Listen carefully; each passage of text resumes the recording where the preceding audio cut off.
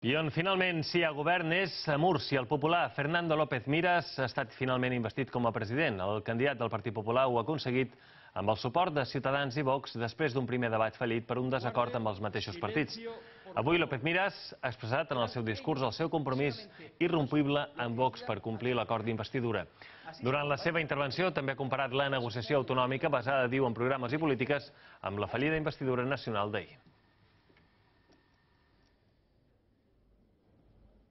Y puedo defender mi acuerdo con Vox, porque es legal, porque se enmarca dentro del escrupuloso y estricto cumplimiento de la Constitución y porque no supone ningún derecho ni recorte de libertades para nadie, para ninguna de las personas, del millón y medio de personas que viven en la región de Murcia.